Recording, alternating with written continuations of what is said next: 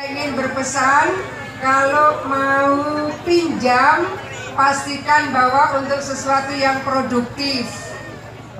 Saya khawatir Pak Bupati, ibu-ibu ini kalau ada ingat ada BUMDes, ini memang harus bersinergi supaya kita bisa mengukur. Sebenarnya masyarakat kalau terima bansos itu sampai berapa lama sih?